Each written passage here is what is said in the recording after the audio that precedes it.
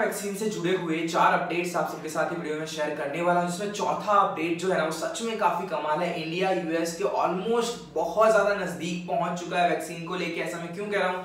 Properly explain करूँगा, नए को सब्सक्राइब करके बेल कर दो, ताकि कोई भी अपडेट जो है ना, वो मिस ना करो। दोस्तों, अभी के टाइम में सबसे ज़्यादा इंपॉर्टेंट है आपको पता होना कि आपको प्रायर कोरोना का इन्फेक्शन हुआ है नहीं। अगर हुआ है तो आपकी बॉडी ने कितना इम्यून रिस्पॉन्स जनरेट किया है। जानने के लिए कोई स्वैब टेस्ट की ज़रूरत नहीं आपको सिंपल एक ब्लड टेस्ट करवाना पड़ेगा।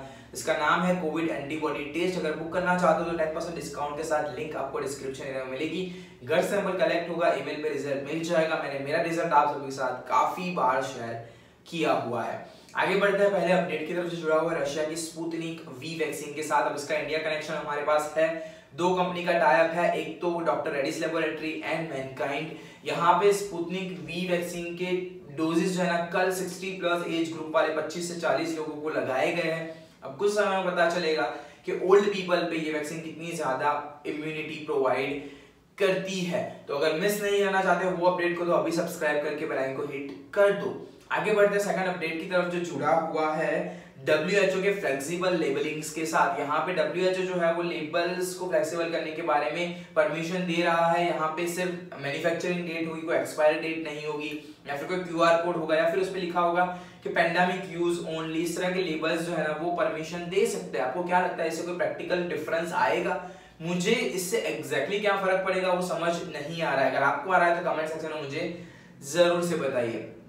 आगे बढ़ते हैं थर्ड अपडेट की तरफ़ से जुड़ा हुआ है क्योर वैक वैक्सीन के साथ। यहाँ पे क्योर वैक जो है जर्मन बेस्ड कंपनी अगर मुझे आप कंटिन्यूसली फॉलो कर रहे हो तो मैंने इसके बारे में अपडेट काफ़ी लंबे पहले, समय पहले ही शेयर किया था कि वो एक कोरोना वैक्सीन के ऊपर काम कर रहे हैं। उनकी जो वैक्सीन है वो एम बेस्ड वैक्सीन है। M R N A based vaccine मतलब similar to Moderna and Pfizer BioNTech उन्होंने प्री ट्रायल्स कंप्लीट किए, जिसमें काफ़ी अच्छा इम्यूनिटी रिस्पांस देखने को मिला है। तो बहुत जल्दी वो भी जो है, वो लार्ज स्केल पे ह्यूमन क्लिनिकल ट्रायल्स को कंडक्ट करेगी। जर्मन वैक्सीन है तो एक ट्रस्ट जो है ना, वो सच में काफ़ी ज़्यादा लोगों का बढ़ जाता है। लास्ट अपडेट की तरफ़ बढ़ते हैं, जिसके लिए आप सभी जो है वेट करो और यहाँ तक आपने वीडियो को देखा है।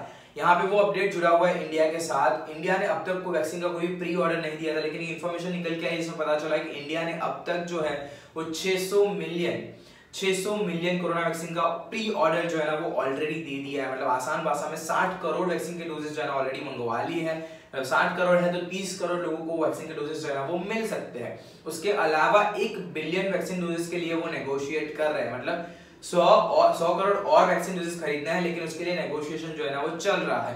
अगर मैं उसे कंपेयर करूँ यूनाइटेड स्टेट्स के साथ तो यूएस ने अभी जो है, वो 810 million dollar million vaccine doses का ऑर्डर ऑलरेडी दे दिया है। मतलब इक्यासी करोड़ वैक्सीन के डोजेस ऑलरेडी ऑर्डर कर दिए हैं, और उसके अलावा 1.6 बिलियन 160 करोड़ वैक्सीन डोजेस के लिए नेगोशिएशन चल रहा है। तो अब इंडिया जो है ना, सच में काफ़ी हद तक क्लोज आ चुका है। और मुझे लगता है कुछ समय में इसे ओवरटेक भी कर लेगा क्योंकि इंडिया की पॉपुलेशन यूएस से कहीं गुना ज़्यादा है। आपको ये गवर्नमेंट का काम कैसा लगा मुझे कमेंट सेक्शन में ज़रूर से बताएँ। तो मैंने वीडियो में चार अपडेट्स आप लोगों के साथ शेयर किए। पसंद आए तो वीडियो को लाइक करो शेयर करो। नए हो चैनल को सब्सक्राइब करके बेल कर दो ताकि आप कोई भी अपडेट मिस ना करो। अगले वीडियो में मुलाकात होगी। तब तक के लिए जय हिंद।